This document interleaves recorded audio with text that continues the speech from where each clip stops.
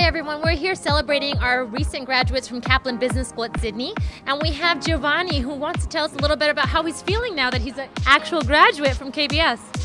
Finally, I made it through all the efforts I went through to make it, and uh, it's amazing uh, to be a graduate student of um, Kaplan Business School. It's a special day because finally I know that's the final part of my journey. Yeah, feeling great, a bit excited.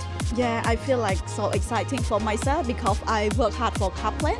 Ah, very exciting actually. Like it's been a long time coming. So yeah, I'm very excited about it. It's a great privilege to be here. Um, it's awesome that she's completed this course and it's already opened up new opportunities for her and she's loving uh, what she's doing with it. He has come so far and I'm so proud of him. I, I watched him grow, I, I, watched him learn new things with this, uh, with this bachelor degree and I'm so happy that he's graduating today. That's a long time we've been waiting for her. we try to push her every every time she comes to study. year. so so proud of her. Yeah.